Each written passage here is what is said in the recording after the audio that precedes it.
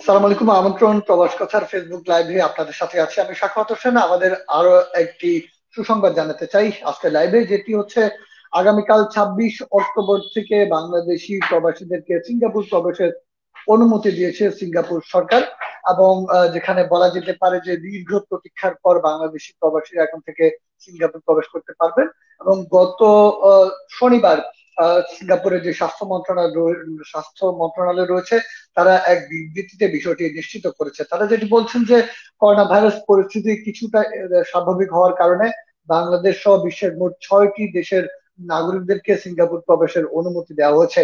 বাংলাদেশ সহ এই তালিকায় রয়েছে ভারত, নেপাল মিয়ানমার, পাকিস্তান, শ্রীলঙ্কা। অর্থাৎ এই ছয়টি দেশের নাগরিকরা আগামী কাল ছাব্বিশ অক্টোবর বলা যেতে পারে যে রাত বারোটার পরে সিঙ্গাপুর প্রবেশ করতে তাদের জন্য আর কোনো ধরনের বাধা নেই, এমন একটি বিবৃতিতে তারা জানিয়েছেন। এবং এটি কিন্তু অনেক বড় সুসংবাদ, কেননা বাংলাদেশি যে সকল সিঙ্গাপুর প্রবাসীরা রয়েছেন, তারা দীর্ঘদিন দেশে আটকা পড়েছেন করোনা ভাইরাসের কারণে প্রায় এক থেকে দেড় বছর পর্যন্ত তাদের সে দেশে প্রবেশ অনুমতি মিলেনি।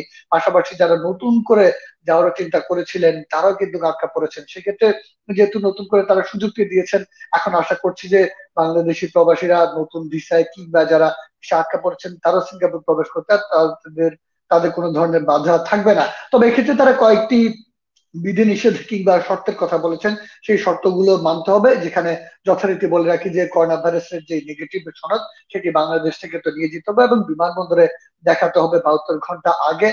এছাড়া আরেকটি জিনিস বলেছে যে যে সকল নাগরিকরা সিঙ্গাপুরে যেদিন প্রবেশ করবেন, তার চোদ্দ দিন আগে তার যে কার্যক্রম দেশে, সেই বা ভ্রমণের যে কার্যক্রম, সেটির একটি ইতিহাস কিংবা তথ্য পুরোটি জানাতে হবে এবং সিঙ্গাপুরের যে স্বাস্থ্য মন্ত্রণালয় রয়েছে, তাদের কাছে পুরোটি তুলে ধরতে হবে।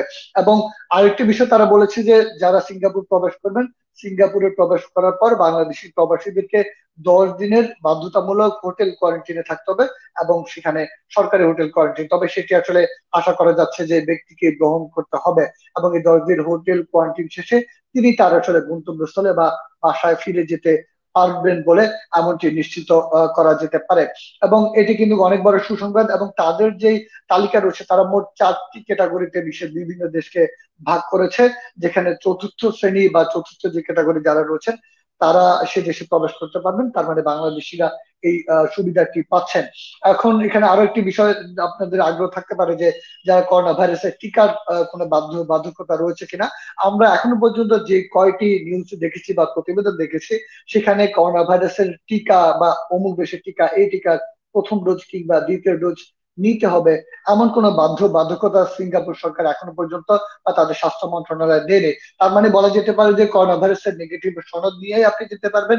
টিকা নেওয়ার যে বাধ্য বাধ্যকতা সেটি বলা যেতে পারে আমরা ধারণা করছি যে সেটি আসলে নেই। আর সেখানে প্রবেশের পর যথারীতি যেটি বলছিলাম যে দশ দিনের বাধ্যতামূলক হোটেল কোয়ারেন্টাইন থাকতে হবে, সেটি আপনাকে মেনে যেতে হবে এবং সেক্ষেত্রে আপনাকে যত সম্ভব যে আগে থেকে কিন্তু হোটেল বুকিং করতে হবে। এবং যখনই যাবেন, আপনি, আপনার যারা সিঙ্গাপুর প্রবাসী রয়েছেন, তারা এখনই যে এয়ারলাইন্সে করে সিঙ্গাপুর যান, সেই এয়ারলাইন্স গুলোতে যোগাযোগ করতে পারেন এবং কখন আসলে আপনার ফ্লাইট শিডিউল মেলাতে পারেন, সেটি দেখার বিষয়। আর যারা নতুন ভিসা যাবেন, তো তাদের সবগুলো কাগজপত্র আবারও নতুন করে করতে হবে। আমরা এমনটাই প্রত্যাশা করছে। এটি কিন্তু ভালো সংবাদ এবং বলা যেতে পারে যে বাংলাদেশ, সিঙ্গাপুর দুঃখিত, মিয়ানমার, নেপাল, পাকিস্তান শ্রীলঙ্কা, ভারত এই দেশের নাগরিকরা সে দেশে যেতে পারবে না। আরও একটি সুসংবাদ হচ্ছে যে, শুধু এতদিন পর্যন্ত বলা যেতে পারে যে ট্রানজিটও কিন্তু করার সুযোগ ছিল না। এখন থেকে যে সকল বাংলাদেশি প্রবাসীরা ট্রানজিট করে সিঙ্গাপুর হয়ে অন্য দেশে কিন্তু যেতে পারবেন, এমন সুবিধাটি দিয়েছেন আশা করছি আমরা আজকে লাইভে আপনাদেরকে সুসংবাদটি জানাতে পেরেছি। ধন্যবাদ সবাইকে এতক্ষণ আমাদের সাথে যুক্ত থাকার জন্য। আসসালামু আলাইকুম।